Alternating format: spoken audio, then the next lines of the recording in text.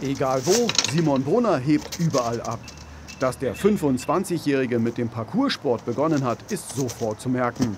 Seine Bekanntheit im Internet ist allerdings durch seine Videos von Sprüngen von Brücken wie hier am Silvensteinspeicher blitzartig angestiegen. Mein krassester Sprung war tatsächlich einer meiner ersten.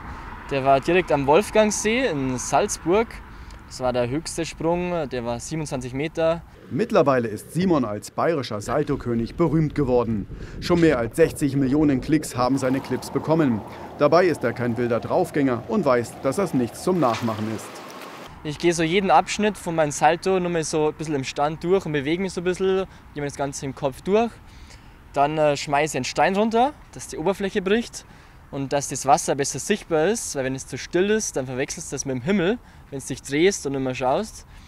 Und äh, ja, dann bereite ich mich mental vor, brauche meistens so 30 Sekunden und dann kommt der Sprung.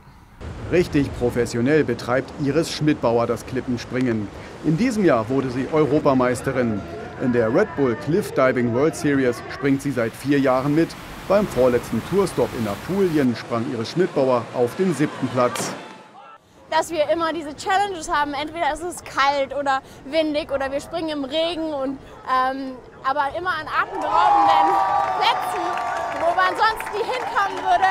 Und deswegen liebe ich den Sport so sehr. Weißt, es, ist nicht, es ist nicht langweilig irgendwo im Schwimmbad, wo immer alles gleich ist. Profi ist Simon Brunner noch nicht.